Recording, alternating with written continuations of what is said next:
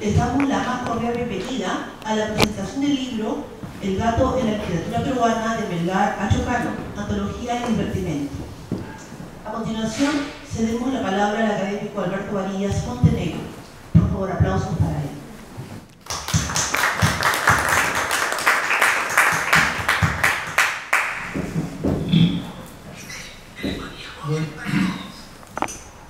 buenas noches. Bienvenidos a este acto, este acto académico que en el fondo es un acto extraño porque hasta la fecha la Academia de la Lengua siempre se ha reunido para actos sumamente serios, rigurosos, un poco adustos, un poco fríos, pero hoy nos estamos reuniendo para presentar un libro que, cuyo subtítulo es Divertimento, lo cual en realidad rompe una tradición muy antigua de la Academia de la Lengua, pero que ya tiene el antecedente que durante el último año se ha dedicado la Academia a preparar una cantidad enorme de, una cantidad importante de recitales poéticos. Y ha abierto sus puertas a muchísimas personas que anteriormente no hubieran pensado que ese iba a ser, eh, que su destino iba a poder comenzar en una presentación académica.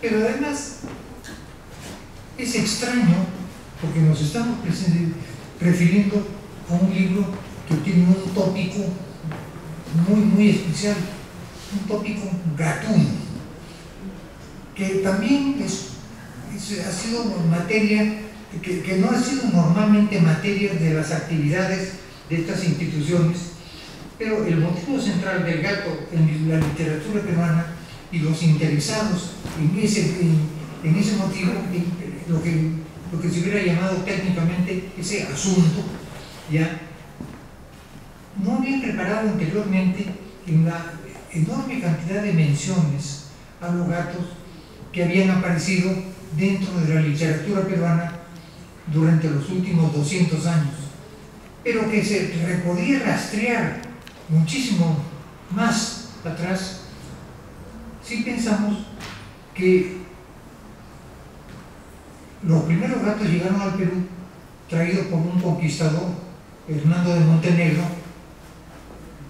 que debe ser antepasado mío, eh, que trajo los primeros gatos al Cusco. Y digo los porque se reprodujeron de tal forma que no puede haber sido un gato solo el que vino, sino vino amartelado con su parejita. Y ya desde la época del padre Cobo, año 1620, reparamos en el éxito que habían tenido los gatos para combatir todos los, problemas derivados del ratas y ratones. El gato cual nos vamos a referir en, este, en esta ocasión es el gato doméstico, no es el gato salvaje. El gato doméstico, cuyo origen en el, eh, seguramente es un, tiene origen europeo, pero desde principios del siglo XVI ya estaba cruzando el Atlántico para llegar aquí, para llegar al Cusco. Y esa es la razón por la cual nosotros, perdón, eh, llegó desde esa época y se ha reproducido con tanta normalidad que para nosotros el gato es un animal muy apreciado por algunos, no tanto por otros, pero realmente es un animal que forma parte de la familia peruana. Y cada vez que entramos en que podemos tener la necesidad de calificar algo que no está en buena condición, siempre se nos ocurre decir, esto está para el gato. Y el estar para el gato eh, nos, hace familiares, nos, nos, hace, nos acerca a este animal al cual los 29 textos que comprende el libro que hoy con tanto gusto presentamos es el, nos da una idea de cuán enraizado entre nosotros está este, este este animal. Y, en el prólogo al, al, libro, Marco Martos, el presidente de la academia, recuerda todos los nombres con los cuales lo conocemos. Es mi niño, mi chino, mucho, miso, mi ringo, morrongo, que no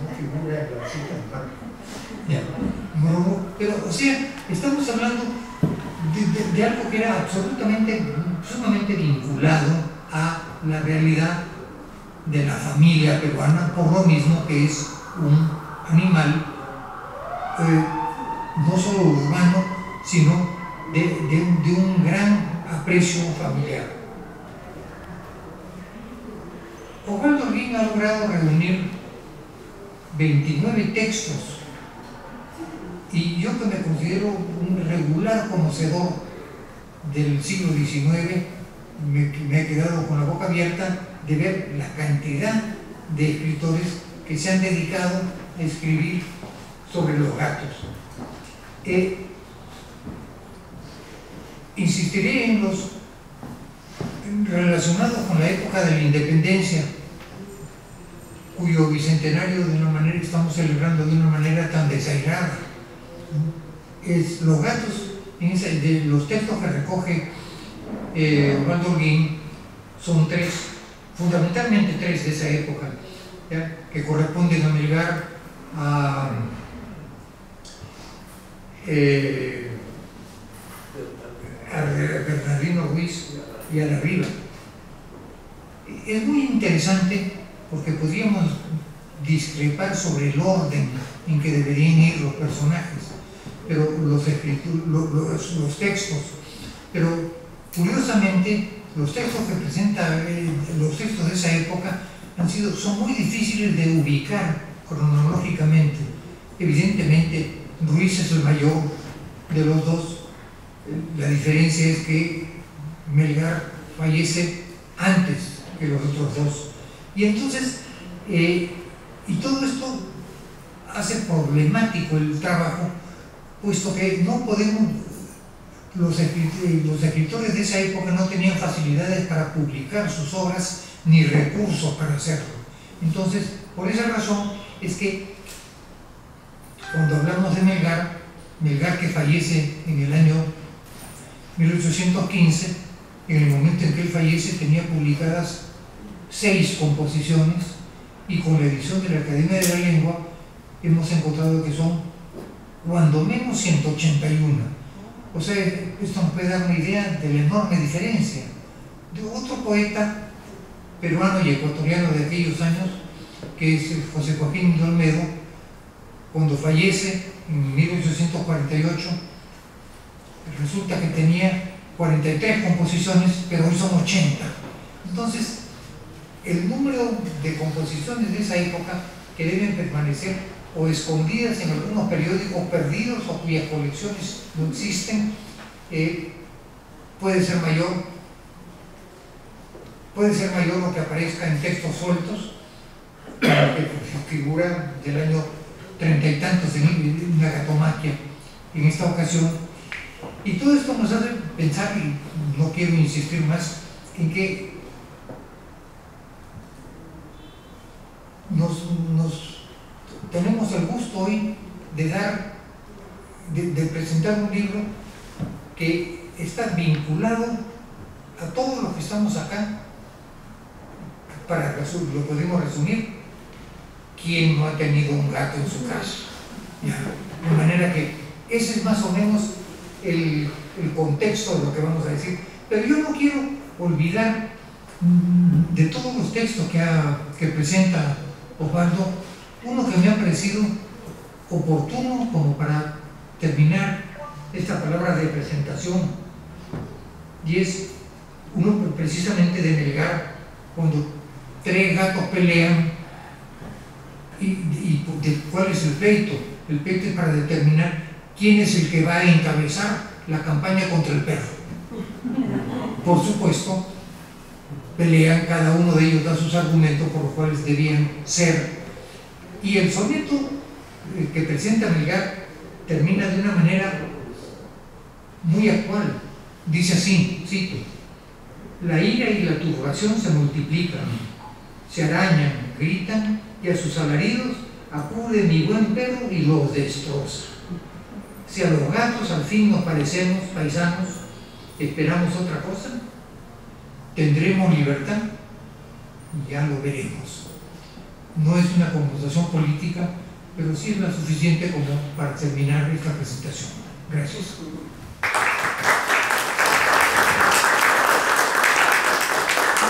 Muchas gracias, Roberto Marías. La segunda intervención estará a cargo de Ricardo Ayón, quien tendrá a su cargo los comentarios del libro. Aplausos también para Ricardo. El gato en la literatura peruana, de Melgar a Chocano, Antología y Divertimento. Más de un siglo corre por esta rica búsqueda y selección de textos gatunos de Osvaldo Holguín Cayo, historiador y literato peruano cuya tarea mezcla a veces ambas facetas y permite que surja un inquietante producto, como el que tenemos aquí, El gato en la literatura peruana de Melgar a Chocano el cual es una completa propuesta que, tomando como justificación al felino doméstico, ofrece la secuencia de 29 textos en verso y en prosa de aquel momento de la literatura nacional cuyas resonancia y picardía se alzan en el costumbrismo y el romanticismo de forma casi natural. Pero la propuesta no solo se halla en la forma y en el fondo creativos, sino inclusive en el propio objeto literario su diseño interior parece evocar libros de época, lo cual se complementa visualmente con las ilustraciones elegidas. En suma, un volumen cuyo, disfrute es el redescubrimiento de aquel pasado creativo al que podemos ingresar inclusive desde la imagen de un animalito casero para constatar que la tradición literaria nacional nos guarda a veces curiosas sorpresas.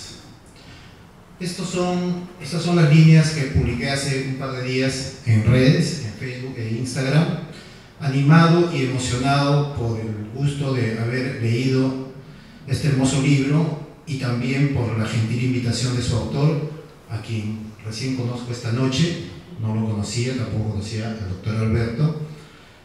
Y es más, esta noche me he enterado que él me ha elegido porque, por una cosa que me causó mucha satisfacción, porque era descubierto en internet que yo he escrito sobre gatos, sobre mascotas. Y quería escuchar a alguien, y me imagino que más allá de la reflexión, también pueda abordar la emoción, cierto? El sentimiento. Tengo gatos, tengo dos gatos, una hembrita y un machito, eh, y, han llegado aquí amigos, familiares que también tienen gatos y seguramente están esperando que hable un poco de ellos, porque nuestros gatos de alguna manera son nuestros otros, nuestros otros hijos. De ellos aprendemos. La mejor manera de humanizarnos son las mascotas. A veces en casa nuestros propios hijos, nuestros propios hermanos, pareja, no tienen la misma paciencia, alegría, o emoción que tienen nuestras mascotas cuando nosotros llegamos a casa. En casa una gatita mía, Ginger, es la más emocionada cuando yo llego. corre a verme y está pidiéndome en todo momento que la acompañe a comer, que esté con ella a su lado, y yo soy el hombre más feliz del mundo. A pesar de que digan que el, el perrito es más fiel, es más cariñoso, pero no sé, yo he sentido que con esta gatita me compenetró de tal manera que si un día aparte de este mundo, no sé, voy a llorar mucho quizás. Pero bueno, estamos eh, con el gato en la literatura peruana y nuevamente agradecido por con el doctor Osvaldo. Una de las primeras cosas que he percibido en este libro, como he dicho hace un momento, es esa intención en primer lugar, de la forma con que se presenta este libro. Hay una suerte de diagramación, si ustedes adquieren el libro, muy curiosa, que ya no se estila ahora. Cada página viene enmarcada, un estilo clásico. La, tipografía también yo creo que es la adecuada. que también nos remite un poco a, literatura más eh, costurista o modernista, y se han elegido también algunas eh, ilustraciones de época, inclusive anteriores, como de Gustavo Doré y otros artistas que en algún momento, inclusive hay ilustraciones de José María Eguren, esto me, causó mucha alegría ver algo de José María Eguren aquí. Entonces, en este libro no solamente participan escritores, sino también participan artistas plásticos, pintores, ilustradores, eh, yo, imagino que la selección ha sido hecha por el propio autor y algunas inclusive son ilustraciones que fueron hechas precisamente para algunos de los textos de aquí, pero otros han sido buscados para que más o menos eh, coincidan con, el tema de, los poemas y relatos que aparecen en este, en este libro. Y no solamente, ojo, poemas y relatos, eh, también hay algunas algunos textos de otros géneros. En, poesía obviamente vamos a encontrar principalmente sonetos, sonetos que son eh, ese tipo de poesía que se hacía en, el siglo XIX, que corren más de 100 años de poesía desde Melgar a Chocano como se menciona, pero también hay otros autores posteriores, pero que de alguna manera también fueron contemporáneos de, los últimos poetas que, se mencionan o que se que comprenden este libro. Eh, por ejemplo, están Alberto Guillén, Rafael Méndez Dorich, entre los últimos. Y, también otra eh, curiosidad de este libro es que los autores representativos de estos años no están todos, sino que están algunos que han sido, como ya lo ha dicho el doctor Alberto, eh, seleccionados o escogidos con mucha, no sé si la palabra es esfuerzo, pero ha sido, el, doctor Osvaldo Guillén ha sido yo creo que bastante indagador para este trabajo y hay algunos nombres que no vamos a reconocer y algunos otros que a veces escapan ya a nuestra memoria. yo soy ancashino y me ha causado sorpresa, por ejemplo, encontrar a Aurelio Arnau. Aurelio Arnau fue eh, un escritor guaracino que vivió aquí en Lima durante muchos años aquí, publicó libros y también colaboró en diarios y yo creo que es uno de los escritores que tiene que ser rescatado. Tiene un libro, Cuentos Peruanos, con ese título, que me parece maravilloso y que está cayendo en el olvido. El año pasado presenté eh, para los estímulos económicos en el Ministerio de Cultura un proyecto para publicar sus libros y bueno, fue rechazado, no sé por qué razón, pero me ha causado eh, alegría encontrar un texto de Aurelio Arnau en, El gato en la literatura peruana. Pero también vamos a encontrar con, eh, nos vamos a encontrar con nombres que permanecen todavía en nuestra memoria, que son parte de la tradición literaria nuestra, como Clemente Palma, César Atahualpa Rodríguez, Pedro Paz Soldán, Manuel Atanasio Fuentes, el murciélago, José Gálvez Barnechea, Percy Gibson, etc. Eh, es una forma de reencontrarnos con nuestra tradición literaria, es una suerte de saber que también estos escritores nuestros que seguramente sus temas iban generalmente, como en todas las épocas, por la política, eh, por lo cultural, por lo doméstico, etc. Curioso saber cómo han utilizado al gato, no solamente como tema para el gato en sí, sino también para usar el gato en alguna suerte de fábulas eh, relacionadas con ironía política, que es lo que más o menos el doctor Alberto ha dejado entrever al final. Y eso eh, es eh, bastante frecuente, sobre todo en los primeros textos. Ya luego parece que los autores, los escritores ya independizaron, individualizaron al gato y se, comienza a hablar ya del gato específicamente desde todas sus características. ¿no? Vamos a encontrar al gato desde, por ejemplo, esa creencia maligna que cree que el gato es de mala suerte, ¿no? el gato negro sobre todo, pero a encontrar al gato en su sensualidad, hay un texto muy hermoso de, es un cuento de Juan Manuel Polar, El rapto de Miss donde aparece eh, toda la sensualidad de una gatita y donde aparece un personaje felino, gatuno, Zapirón, Zapirón, que pertenece a la gatomaquia de Lope de Vega, que es un poema burlesco que también causa sorpresa, aparece como referencia en más de un texto de este libro, o sea, en más de un texto de un autor de, aquella época. O sea, Zapirón parece que, o la gatomaquia de, de Lope de Vega es un buen referente para muchos de los escritores sonetistas principalmente.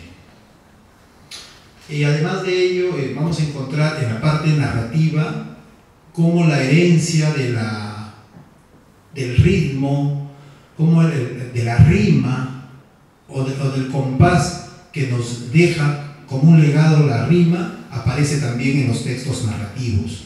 Los primeros textos narrativos que, que, están aquí puestos, si uno los lee con, con atención, todavía guardan aquella cadencia, aquel ritmo, que hay en, los poetas, que existen los poetas, sobre todo aquellos que, están pegados a la tradición clásica de, la, poesía. Entonces eh, vamos a encontrar esa herencia del compás, del ritmo, en, los textos narrativos y, volver a ese, a, ese tipo de lecturas, sinceramente es grato, es grato porque ya no encontramos ahora, hay tanto de todo que a veces eh, los escritores Mm, preocupados por la técnica, preocupados por el tema, por, por innovar, han olvidado el ritmo, la cadencia que necesita la palabra para poder continuar con una lectura agradable. Los textos también eh, se detienen no solamente en el realismo, porque eh, eh, encontramos muchas situaciones, espacios domésticos, íntimos, familiares, cotidianos, sino también obviamente vamos a encontrar fantasía, hay textos fantásticos, porque se le va a otorgar a, los animales comportamientos humanos y eso ya escapa de lo meramente real, sino que llega, aborda lo fantástico. Entonces, si nos damos cuenta, estamos frente a un, a un texto completo, completo y sobre todo porque la mirada es además no solamente de un literato, sino de un historiador. Eh, el doctor Osvaldo Guín también es historiador y en ese sentido él ha hecho su, em, su estructura de este libro no a partir de, una estructura de las corrientes literarias peruanas, el modernismo, el costumbrismo, etcétera, no, sino él ha hecho su estructura a partir de lo que viene a ser nuestra historia en esos tiempos. Entonces, en el índice vamos a encontrar los textos puestos dentro de su de, capítulos como la independencia y el primer caudillismo, eh, la brillante década de 1870, la convalecencia de la posguerra, la república aristocrática y el oncenio de Guía. Entonces él estructurado dentro de su eh, razonamiento y su comprensión historiográfica, más que literaria. Entonces es otra manera de enfocar la historia de nuestra literatura, desde otra manera, no netamente literaria. Entonces, eh, simplemente a mí me queda recomendar las virtudes de esta propuesta. Es un libro completo y yo antes de empezar esta presentación le comentaba al doctor por qué no se anima a hacer una continuación de este libro, porque nos quedamos con, la miel en, los labios, que quisiéramos seguir, pero obviamente que a partir del siglo XX el, trabajo debe ser más arduo porque aparecen muchísimos más escritores de todo tipo, con diferentes tipos de estilos. Eh, aparece el vanguardismo en el siglo XX y entonces ya se rompe con todas las formas, con todos los estilos y hay que indagar más porque también en provincias, en regiones eh, hay muchísimos autores. Aquí solamente encontramos principalmente autores limeños, criollos y ya merece de repente ahora una mirada más descentralista. Muchas gracias, doctor Osvaldo Muchas gracias a todos ustedes por su atención.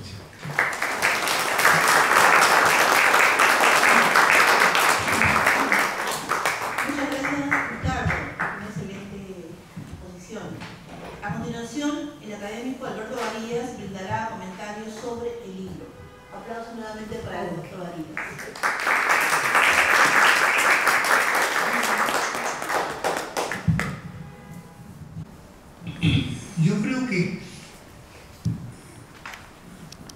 Una cosa que hemos omitido, los dos que hemos hecho uso de la palabra, es referirnos no tanto a los gatos, sino al creador del libro.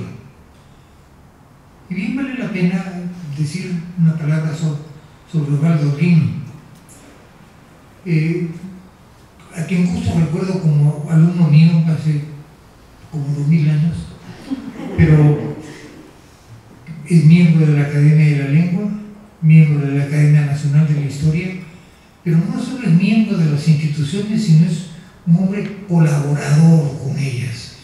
Y en estas instituciones eh, lo que se necesita fundamentalmente es personas que tengan la capacidad de colaborar.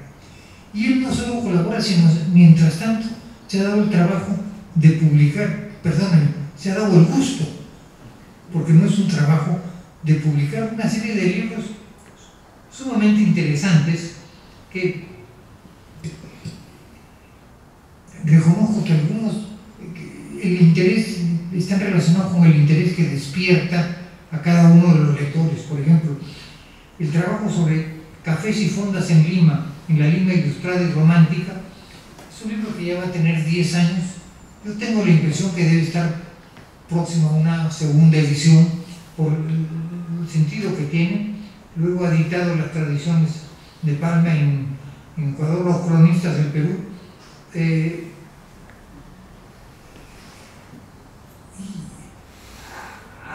ha, desarrollado temas que estaban absoluta, que eran absolutamente desconocidos, como por ejemplo el nombramiento de Ricardo Palma como cónsul del Perú en Pará.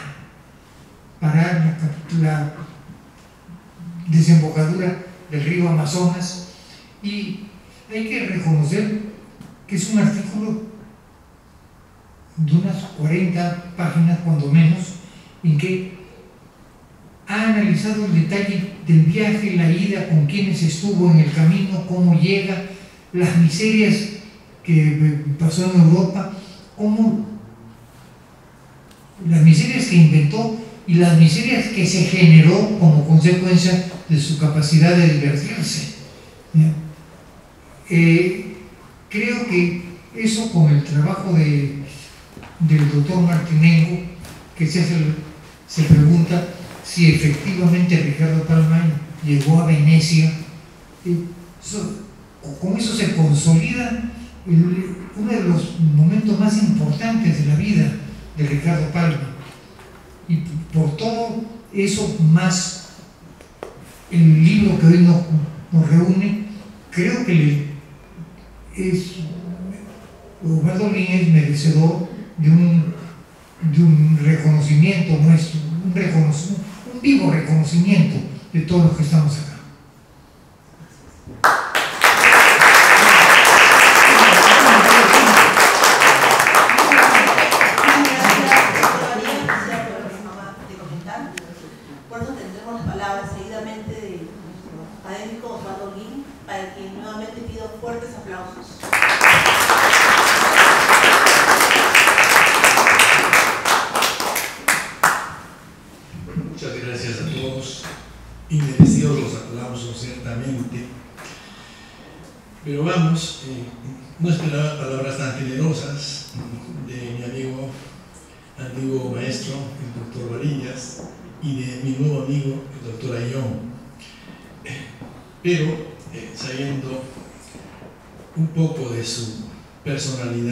Y de sus altos eh, valores, eh, era factible que se expresaran así y que sobre todo dijeran algunas cosas sumamente interesantes sobre este libro.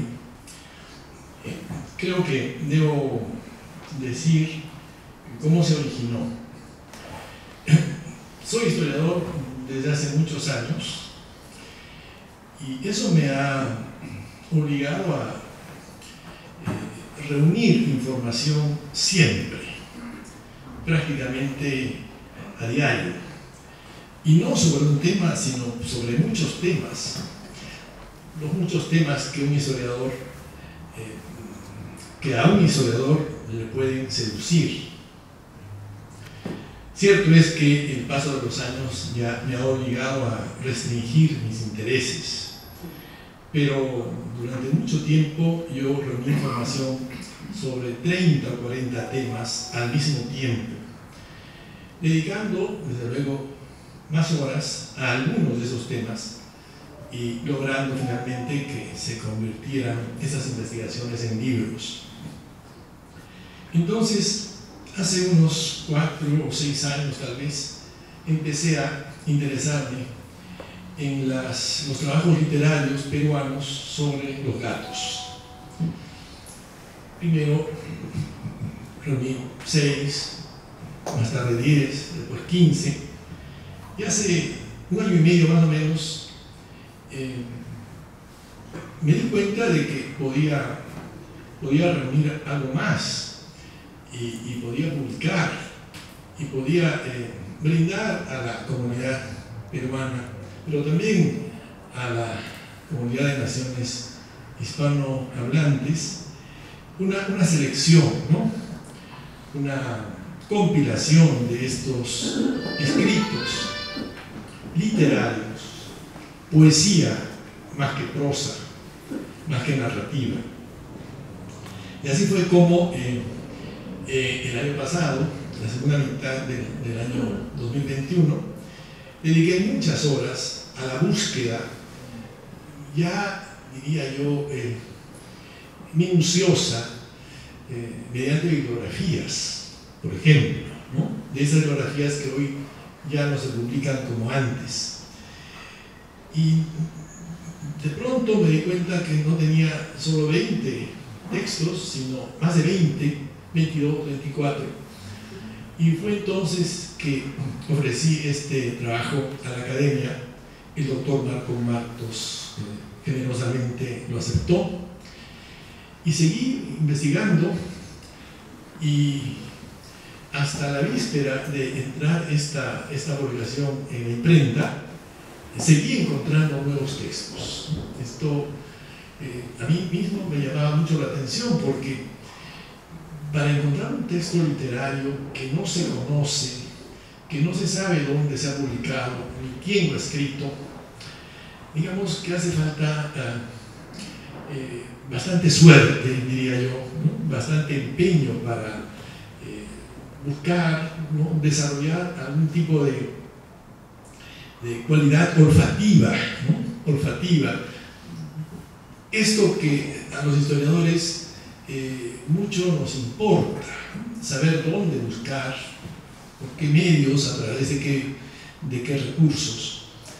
Lo cierto es que pues, finalmente eh, reuní 29 textos, 29 textos que a mí me parece son muy representativos de de distintos momentos, de distintas corrientes. Los más viejos son de la independencia, Melgar, Arriba, Ruiz. Y los últimos son del, tiempo ya eh, pleno de la madurez de Chocán y de otros autores del primer tercio del siglo pasado. Eh, ese es un poco el trasunto de, esta, de publicación que eh, ciertamente no puedo responderlo, el doctor Bellón lo ha dicho, está acompañada de, de un sentido lúdico también, ¿no? reunir poesía gatuna, ¿no? poesía y, narrativa que se refiere a estos animalitos, a estas mascotas, que cada vez tienen un papel más interesante en, la vida humana. Por diversas razones, la vida moderna a muchos nos obliga a, vivir solos y, muchas veces la compañía de una mascota resulta totalmente necesaria, reconfortante e incluso eh, medicinal. Entonces, eh, debo confesar que, ha sido para mí muy grato hacer esta recopilación, esta búsqueda y darla a conocer a todos, darla a conocer para que de esa manera también eh, los jóvenes y todas las generaciones sepan cómo el gato, este animalito querido por unos, detestado por otros, ha merecido la atención de, no pocos escritores peruanos de primer nivel, de primer nivel. Bueno, eh, no puedo eh, dejar de reconocer entonces eh, el apoyo y, por lo mismo no puedo dejar de expresar mi gratitud al doctor Marco Martos, que no ha podido acompañarnos esta noche, a la señorita Magali Rueda, aquí presente, brazo derecho de la academia, al Instituto Porras, que nos acoge, y a personas como Silvia Salas, eh, Julio Sobrino, Silvia Salas, la excelente diagramadora del libro, nos está acompañando. Julius Sobrino, no sé si ha llegado, pero es el, es el excelente artista, autor de, esta, este magnífico dibujo. Es un gato estilizado, ¿no? Pero a mí me parece que llama mucho la atención, por eso mismo lo escogí para la carátula. El fotógrafo Daniel Moreno también ha participado bastante. Los bibliotecarios de la Universidad Católica, Greta Manrique, Kevin Wong, Juan Córdoba y Willy Picón, porque este libro se ha hecho en gran parte durante la pandemia y, no era posible ir con frecuencia a la biblioteca de la universidad. Pero dos bibliotecarios haciendo trabajo remoto sí me, dieron muchas facilidades, por eso eh, tengo que expresarles mi gratitud. Y en el Instituto Río Agüero, igualmente en la biblioteca, Daniela Cosio y Alberto Córdoba. Eh, quiero eh, robarles unos minutos más leyendo un par de párrafos de la introducción del libro. Si es verdad que las aves, como el águila, el cóndor y tantas más, han servido de sugestivo motivo inspirador, no pocas veces el gato ha tenido el papel principal en el reparto de roles de la, de la comedia faunística. Dados sus hábitos y aficiones, no extraña que así haya sido. Por cierto, hablo del gato doméstico, del animalito que desde hace miles de años acompaña al ser humano en calidad de, de mascota utilitaria, para cazar y ahuyentar ratones, que hacer del que en los últimos tiempos ha sido casi plenamente dispensado, ganando así un apreciable incremento de horas de descanso, ya muchas desde que la naturaleza lo, hizo lo que es, gato. Excepción notable, sin embargo, es la, la que en estos días, hoy y ayer especialmente, han, han presentado los medios de noticias internacionales en relación al gato largo, el gato del primer ministro inglés. Como sabemos, en estos días el ministro Boris Johnson ¿no? ha caído. ¿no? Su propio partido le ha pedido renunciar. Y algunos se preguntaron en Londres entonces, ¿qué va a pasar con el gato del 10 de Downing Street? O sea, de la residencia del primer ministro. Y hay una respuesta. El gato no es del ministro cesado, sino del primer ministro. Entonces va a continuar, va a continuar, ¿no? eh, siendo tratado, muy bien tratado, obviamente, por el gobierno de su majestad, porque es prácticamente un empleado de la monarquía. Bien. Está en planilla, desde luego. Escritores de gigante altura como Lope de Vega, Quevedo, Balzac, Ten, Baudelaire, Hemingway, Colette, Neruda, Borges, Cortázar, entre muchos más, se han ocupado de nuestro sigiloso huésped para bien o para mal. Pues no todas las veces ha sido por dejar constancia de la admiración que suele generar su agilidad, su elegancia, su audacia y otras cualidades no siempre bien estimadas por el común de los mortales, que también nos ha habido y hay antigatunos. Hubo tiempos bárbaros en los que el gato fue visto como encarnación del maligno y causa y razón de todo género de calamidades, tiempos que han quedado registrados por la tenebrosa historia universal de la ignorancia y del miedo. Si bien no han sido pocos los peregrinistas del Michi, seducidos por su aire de misterio, por sus ojos hermosos o por el brillo de su pelaje, no han sido pocos los autores que más bien han reparado en sus habilidades de caco y en su desleal comportamiento o en su interesada y egoísta conducta, sin olvidar el siniestro papel que les han asignado los cuentos de terror al estilo de Edgar Allan Poe y otros de su cofradía, origen de tantas producciones para el cine que deleitan a los amantes de la adrenalina. Sin embargo, es claro que la mala imagen del gato en algunos predios literarios obedece a tradiciones de viejo arraigo, a alusiones y presagios ligados por el tiempo antiguo. Hoy, a Dios gracias, no vivimos los tiempos eh, de la barbarie medieval, en la cual pues miles de gatos murieron, víctimas, eh, como digo, de la ignorancia, del temor, del miedo. Eh, y hoy, quizá más que nunca, el gato tiene un papel muy importante en la vida humana. Eh, en nuestra sociedad no tanto, sin embargo, países, muchísimos, muchísimos vecinos cuentan con un gato, un gato al cual crían, cuidan y protegen en sus departamentos, porque el gato viene a ser un animalito ideal para la vivienda moderna, que es el departamento, donde puede estar muchas horas eh, solo ¿no? y esperando, eh, seguramente con alguna ansiedad, el regreso del amo. El gato ha sido abordado como materia literaria por escritores peruanos de muy diversa formación y trayectoria, y no solo de distintos momentos y escuelas. Igualmente, los objetivos de sus creaciones, además de estéticos, han oscilado entre la enseñanza moral, la crítica política, la pintura de escenas hilarantes, el cuadro de situaciones domésticas cargadas de tensión psicológica, el conflicto de personajes, signados por la presencia del nicho, etcétera, etcétera un apunte a buena pluma permite descubrir cuatro periodos de producción literaria gatuna. Estos periodos ya los ha citado el doctor Ayón, pero eh, me voy a permitir reiterarlos.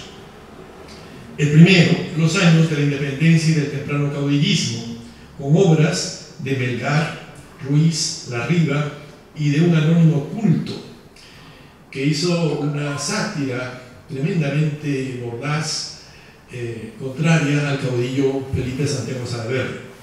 Y le puso por título La Tomaquia, el mismo título del famoso poema burlesco de, Lope, eh, que efectivamente eh, es una obra presente en, en algunos de los textos recogidos. Segundo, la brillante década de 1870 Sabíamos que en los años 1870 hasta 1879, cuando empieza la guerra con Chile, eh, la producción cultural en el Perú fue extraordinaria, pero lo sabemos mejor gracias a un trabajo del doctor Varillas, que, hace algunos años nos, obsequió eh, el fruto de sus investigaciones. Una década realmente excepcional, eh, que acabó con la guerra. En esta década eh, encontramos versos de Buenaventura Sebani, Manuel Adolfo García, Ricardo Palma, Manuel Atanasio Fuentes, o sea, el murciélago, y Aureliano Villarán. Más tarde, en un tercer momento, el convaleciente tiempo de la posguerra, prosa y verso del mismo Palma, Aurelio Arnao, Pedro Paso Unanue, Juan y Juan Manuel Polar. Finalmente, el último periodo que, presenta, que ofrece trabajos catescos, es el de los agitados, las primeras décadas del siglo XX hasta los agitados años 1930. En ese periodo encontramos prosa de Clemente Palma, esa prosa misteriosa, simbólica, metafórica de, Clemente Palma, eh, eh, que como bien sabemos, eh, uno de los primeros autores de cuentos de misterio en el Perú. Felipe Sazone, Alberto Guillén, verso de José Fianzón, César Atahualpa Rodríguez, aunque lo de Atahualpa, como se sabe, es, algo discutible, José Gámez Barrenechea, Percy Gibson Moller, José Santos Chocano, el ya citado Alberto Guillén, José Chioino y Rafael Méndez Dorich. La influencia de las escuelas literarias en boga, del realismo o del modernismo, por ejemplo, las nuevas costumbres y demandas y el clima político-social del país son factores dignos de tomarse en cuenta tentativamente para desentrañar esas preferencias. En los últimos 50 años se han multiplicado nuestros escritores gatófilos, quienes democráticamente han dado a luz numerosos versos, cuentos, ensayos, novelas, etc., dedicados a morrongos de todo oficio y condición y estirpe. Otro tanto multiplicado ocurre en varios países de Europa, Asia y Norteamérica, lo que permite afirmar que gran parte del mundo vive una explosión de obras inspiradas por ellos, tal vez porque se han vuelto mascotas más apreciadas por demandar un reducido tiempo de sus amos y brindar mucho, gracia y compañía a cambio de tan poco. Finalmente, para terminar, eh, creo que es, válida la oportunidad para eh, decir dos cosas sobre la necesidad que existe en todas las sociedades, pero especialmente en la nuestra, a veces tan desinteresada eh, de, ciertos, de ciertos seres vivos como son las mascotas. ¿no? Me refiero por ejemplo, al maltrato que muchas veces las mascotas reciben, a la falta de, de asistencia médica, y muy especialmente si, estos animales no son mascotas, sino animales eh, callejeros. En ese sentido, pienso en la necesidad de darles protección y amparo, en general a las mascotas, porque este es un asunto de cultura y de civilización. Es un asunto universal. Y es clarísimo que en los países más desarrollados, esos animales que tanto acompañan al ser humano, que tanta ayuda eh, física y psicológica le dan, eh, ciertamente en esos países reciben un trato eh, especial que las leyes, que las leyes proponen y que la sociedad encantada, encantada acoge. En ese sentido, he pensado que si este libro eh, se agota, se vende, tiene un relativo, por lo menos, éxito comercial, podría hacerse una segunda edición financiada por uno de nuestros grandes bancos o una de nuestras grandes empresas mineras, etcétera, para que eh, los fondos que produzca eh, la venta de esta segunda edición sirvan para eh, llevar adelante una campaña de esterilización de gatos.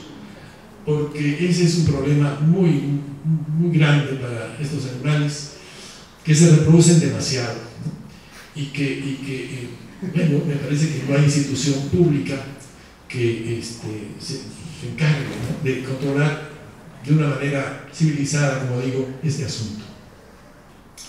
Finalmente, Quiero decir que el propósito de esta antología es acercar a los lectores una mixtura de obras literarias peruanas, olvidadas pero bellamente concebidas y logradas las más, en torno al gato y a los gatos, obras que hacen notar las muchas ideas que los felinos pueden inspirar el goce estético y el divertimento que son capaces de generar en los agitados tiempos actuales. Lejos del propósito de juzgarlas desde los predios de la crítica literaria o de analizar su evolución creadora o cualquier otro asunto propio de los especialistas, papel que no podría desempeñar, debo decir que en general aportan oxígeno y aliento en este siglo XXI que discurre cansino, incierto y desafiante. Muchas gracias.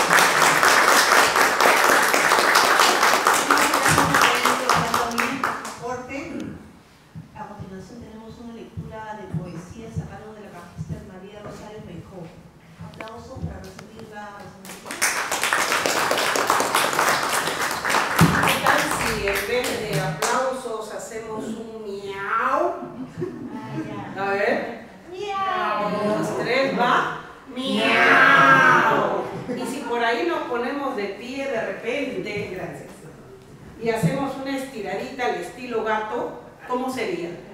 A ver, un poco para empatizar también, ¿verdad? Para ser empático con esa mascota, que dicho sea de paso yo tenía mucho temor Hasta que un día llegó mi, mi nieta, también de San Marcos, había ingresado, me dijo, me voy a vivir contigo, Charo. Yo soy su abuela, pero me dice Charo. Entonces, y le digo, ya, bien, llegó y llegó con la canastita. Y el gatito pequeño, yo le dije, gato acá no, gato no, por favor no. Ave María Purísima, le dije. Y ella me dijo, el gato viene conmigo, si el gato se va, yo también. Y empecé a acostumbrarme a los gatos y empecé a quererlo, amarlo y ahora lo, ¿cómo se dice? Lo, eh, le doy, no, este, lo vivo, lo apapacho y lo mantengo también porque un gatito también tiene su costo. Agradezco la oportunidad y bueno, les decía, si nos paramos un ratito, sobre todo los que pueden, y dejan, ¡oh, miau! No, estiramos nuestro cuerpo, es genial. En el teatro nosotros hacemos el arqueo y le llamamos el gato y el perro, ¿no? Y el perro y el gato. Y eso es muy bueno, muy bueno para, este, claro, la columna vertebral. Bien, vamos entonces a iniciar con la selección de, eh, les pido bastante atención porque en realidad es un momento muy, muy bonito, ¿no? la selección que ha hecho aquí el maestro, a quien agradezco infinitamente por estar en este hermoso lugar, tiempo que no lo visitaba, pero aquí estamos, presentes. Bien, adelante. Cuidado con el gato. Así entre el gatito, ¿no? Así como quien no quiere y se va haciendo dueño de... Bien, hola, iniciamos. Mariano Melgar nació en Arequipa, murió fusilado por los realistas de Huachiri, Puno, 1790-1815. Poeta y revolucionario, dejó poesías manuscritas cuyas colecciones han sido publicadas. Los gatos, fábula. Una gata parió varios gatitos, uno blanco, uno negro, otro manchado. Luego que ellos quedaron huerfanitos, los perseguía un perro endemoniado. Y para dar el golpe a su enemigo, no había más remedio que juntarse y que la dulce unión fuese su abrigo. Van pues a reunirse y al tratarse sobre quién de ellos deba ser cabeza, maullando el blanco dijo, ¡Miau! A mí me toca por mi blancura indicio de nobleza. El negro contestó, calla la boca, el más diestro y valiente mandar. Malo, dijo el manchado. Si esto dura, temo que todo el diablo se lo lleve. Unión y mande el digno. Eso es locura, gritó el blanco, y el negro le replica. Se dividen por fin en dos partidos la ira y la turbación se multiplican. Se arañan, gritan y a sus alaridos acude mi buen perro y los destroza. Si a los gatos al fin nos parecemos paisanos, ¿esperamos otra cosa? ¿Tendremos libertad? Ya lo veremos. Buenaventura Seoane. Nació y falleció en Lima, 1808, 1870, periodista satírico, político y diplomático. Su obra está dispersa en periódicos y revistas. El duelo. Jamás criatura humana habrá sufrido cual yo día, noche, tarde, mañana, las penas que Dios envió. Ni lágrimas tengo ya, que el llanto las agotó, y el corazón yerto la llama en que vivió.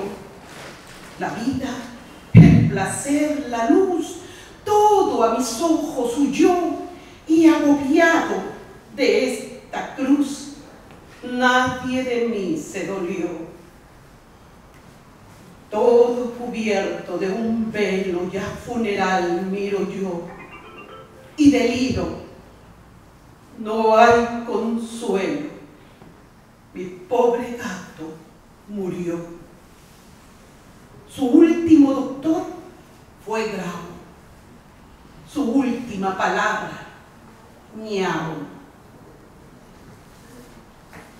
Ricardo Palma nació en Lima, murió en Miraflores, 1833-1919, poeta, periodista, marino, político, tradicionista, lexicógrafo y director de la Biblioteca Nacional del Perú entre los años 1883 y 1912. Aquí prestemos atención porque viene la gata zapatera. Fábula. Vaya, vaya si es pícara la gata, más vieja que la sarna y la ronquera. Echándola de honrada y de beata, se metió zapatera. Para correr ya medio patizamba se dijo, "Mm, pues salir de aquí no puedo por causa de mis males. ¡Ay, qué caramba! No siempre me de estar chupando el dedo. Pues fue pues lo de poner zapatería, pura alcahuetería. Adornó la ventana con chinelas de terciopelo y raso. Y las jóvenes ratas, coquetuelas, detenían el paso cautivadas por esas bagatelas mas no pasaban de la puerta el quicio por medio, por miedo a un estropicio. Al fin, una, lo cuentan los anales, llamada La elegante, rata muy pispireta y remonona, muy echada adelante, y criada en finísimos pañales, se aventuró a decir, Hola, Patrona, hay botas con taquito a la Luis XV. De las de última moda. Y contestó la gata que era lince. Pues no ha de haber, hijita. Las compro. Si no vale mucha plata, que andan los tiempos por demás fatales y a mi papá, que es medio civilista, a veces no le pagan la revista. Entre la señorita, muy salamera, continuó la gata. Ya verá cómo el precio la acomoda.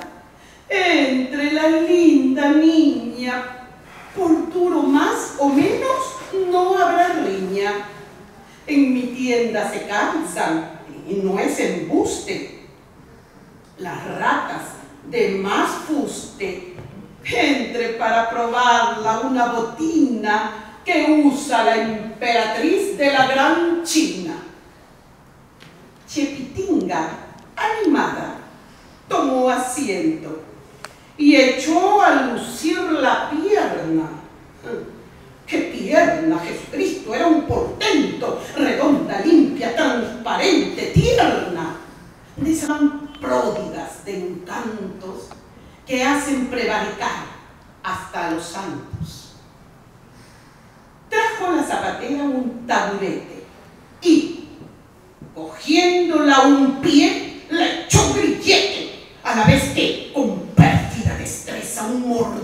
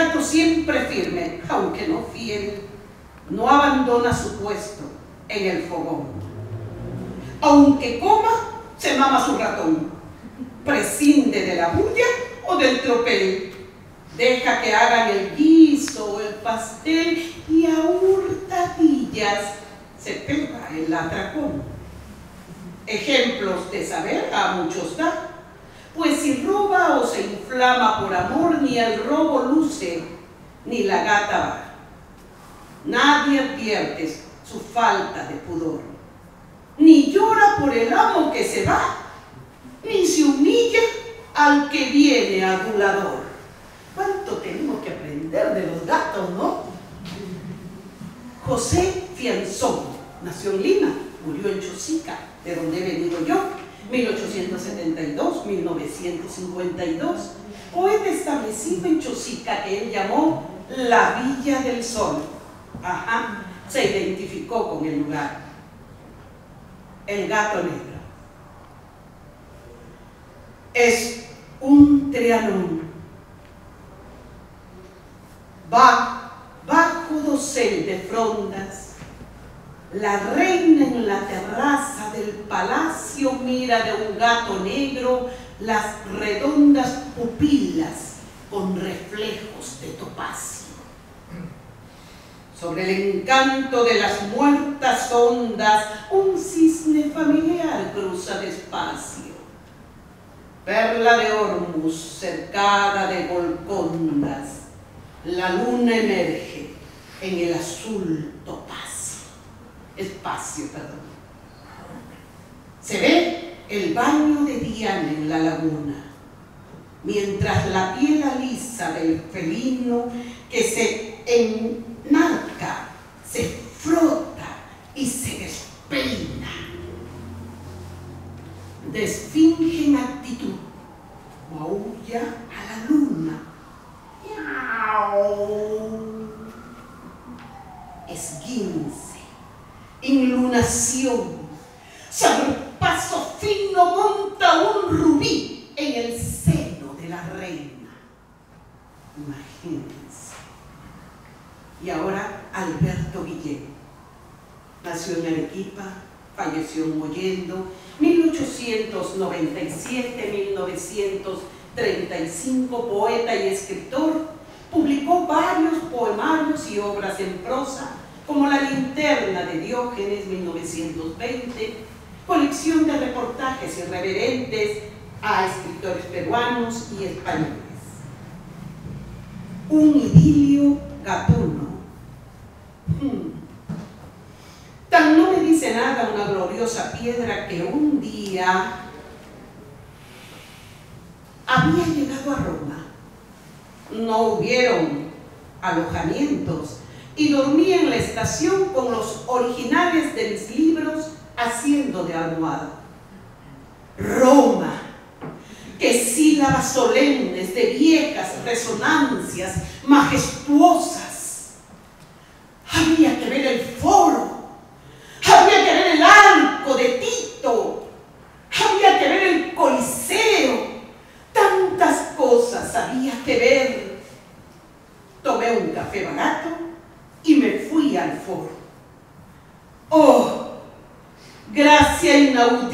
y maravillosa. Oh, sorpresa emocionante y patética. Sobre la hierba, que vestía piadosamente los retazos mútilos de las columnas, dos gatitos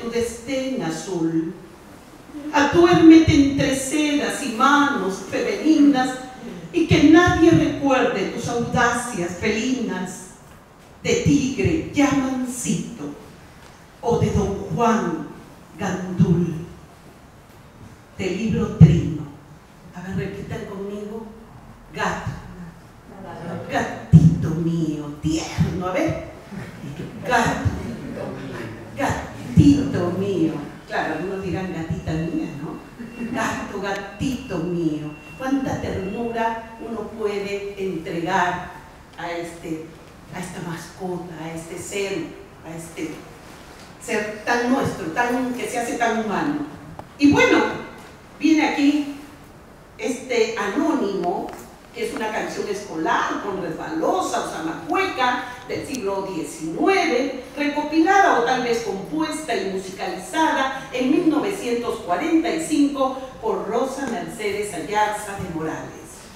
Nació y murió en Lima, 1881, 1969. Compositora, maestra de canto, estudiosa y difusora de la música peruana, escribió y recopiló canciones, festejos, pregones, marineras, tondeos y etcétera. Mi gatito Zapirón, ¿cuántos aquí lo han escuchado? ¿Mm? Mi gatito Zapirón. Yo tengo un lindo gatito que se llama... Actuame. Yo tengo un lindo gatito que se llama... Yo tengo un lindo gatito que se llama... Muy gracioso, chiquitito, engreído y dormilón. Repetimos, muy gracioso, chiquitito, engreído y dormilón. Blanquito como la nieve, pendenciero y cimarrón. Y unos ojazos azules y andares de pechugón. Ojazos azules y andares de pechugón. Toma mi chito, mi zapirón, tu lechecita, tu lechecita, tu migajón. Toma mi chito, tu zapirón, vamos, toma mi chito, mi sapirón, tu lechecita, tu lechecita, tu migajo. Para que crean que están acá, pues, ¿no? Dos, tres, va. Toma mi chito, mi sapirón, tu lechecita, tu lechecita, tu migajo. Y el muy mañoso me hace miau miau. Los ratoncitos, los ratoncitos me gustan más. Gurruñao, gurruñao, los ratoncitos me gustan más. Si me acompañan con la palma, ¿ven? Gurruñao, gurruñao, los ratoncitos me gustan. Palmas y voces. Gurruñao, gurruñao, los ratoncitos me gustan.